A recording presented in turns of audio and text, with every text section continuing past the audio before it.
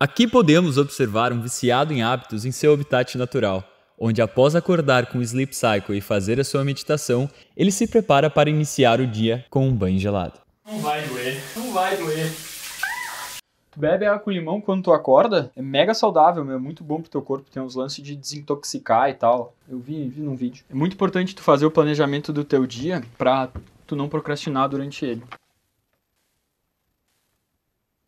Na real, na real, eu vou fazer isso aqui depois. Meu, o importante é tu visualizar teus objetivos, que daí o universo se encarrega de te levar até lá. Tipo um Uber. Eu não escuto música. Quem é que tem tempo pra isso? Podcast, meu, podcast. Só podcast o tempo todo. Mano, ontem eu comecei com sete hábitos novos e eu já tô sentindo os resultados. Parece, meu, parece que eu sou uma nova pessoa já. Quantos livros tu lê por mês? Pouco, meu, pouco. Conhecimento nunca é demais, meu. Tua mente é a tua ferramenta mais poderosa. Tem que desenvolver mais ela, meu. Com licença, tem um minuto pra falar do nosso senhor e salvador Tony Robbins? Vai, eu tô fazendo serviço da empresa. Por que não?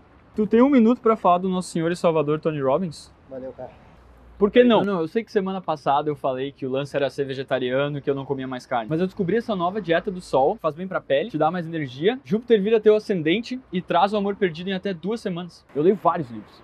Aham, legal, legal. Mas acho que já deu um pouco de falar de ti, né? Agora vamos voltar a falar de mim. Podcast, meu. Podcast, podcast, podcast. Mas esse lance de café é demais, isso aí não, não existe. Isso vive dentro da Matrix, tu acredita nisso aí? Meu, eu sei que eu tô com cara de cansado, mas isso é porque eu tô saindo da minha zona de conforto. E tu com essa cara aí de quem tá dormindo o suficiente. Ah, eu sempre trabalho em cafés. Afinal, eu sou um empreendedor. Não é que eu tô dizendo como tu deve viver a tua vida. Eu só tô te dando um monte de conselhos sobre o que tu deve fazer sem tu ter me pedido. Meu, tu tem que ouvir mais podcast, meu. Às vezes eu fico meio ansioso do nada.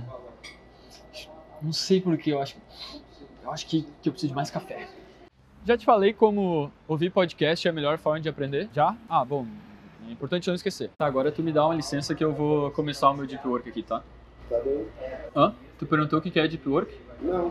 Não, então, ó, deep work é quando eu fico focado por horas no meu trabalho ou no meu estudo. Por exemplo, agora eu vou começar com cinco vídeos motivacionais primeiro, aí eu vou assistir 10 vídeos sobre produtividade, 3 sobre Red Pill, 29 sobre NoFap, e quando a culpa de eu não estar realmente trabalhando começar a bater, eu vou ver que já passou muito tempo e já não vale mais a pena começar, né? E eu vou deixar para a próxima vez. Uma das principais coisas que a gente queria mostrar com esse vídeo meio diferente que a gente fez é o equívoco que muitas pessoas cometem, que a gente já cometeu também, de achar que os hábitos são uma solução mágica para os problemas que a gente está passando. E além disso, numa tentativa de reforçar que isso vai ser uma solução mágica, de ficar compartilhando com todo mundo, falar o tempo todo que agora o lance é fazer isso ou o lance é fazer aquilo. Por exemplo, o banho gelado. Um dos principais motivos pelo qual a gente toma banho gelado e compartilha isso aqui no canal também é porque ele é um treinamento diário para tu desenvolver a habilidade de conscientemente te tirar da tua zona de conforto e operar fora dela. E, por exemplo, vamos supor que tu quer colocar aquela hora extra no teu trabalho ou que tu quer conseguir falar com pessoas desconhecidas para aumentar tuas amizades ou o número de pessoas com quem tu te relaciona. O banho gelado pode te ajudar nisso. Só que ele não vai fazer isso por ti, ele não vai fazer tu ficar aquela hora a mais, ele não vai fazer as pessoas virem falar contigo. O que acontece é que tu vai estar tá mais propenso a conseguir superar esse desconforto de colocar a hora extra de falar com a pessoa. Mas tu ainda tem que colocar essa ação. Então, quando a pessoa acha que o hábito é a solução mágica, ela começa a fazer ele por alguns dias, ela não tem o resultado esperado, porque o resultado vem com a consistência e com o tempo, e dela acaba largando aquele hábito, procura por outro, e quando ela acha, ela se agarra aquele outro hábito e o ciclo começa novamente. Ou seja, Construa sim novos hábitos. Eles vão melhorar o teu processo e vão te deixar mais forte. Só que eles não vão ser a solução mágica que talvez tu esteja procurando. E lembra de não tentar empurrar isso goela abaixo das outras pessoas, porque provavelmente o que vai acontecer, elas não vão querer nem te ouvir.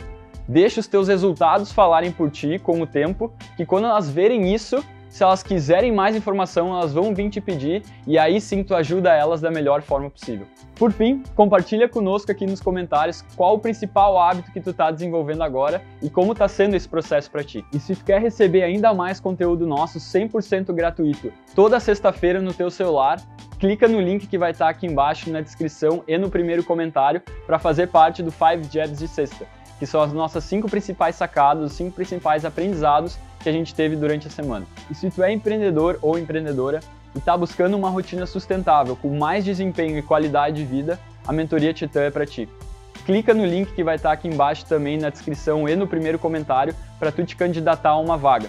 E não deixa isso para depois, porque semanalmente a gente recebe literalmente dezenas de formulários preenchidos. E se tu gostou desse tipo de vídeo mais sátira que a gente fez, deixa aqui nos comentários que a gente vai fazer mais deles então.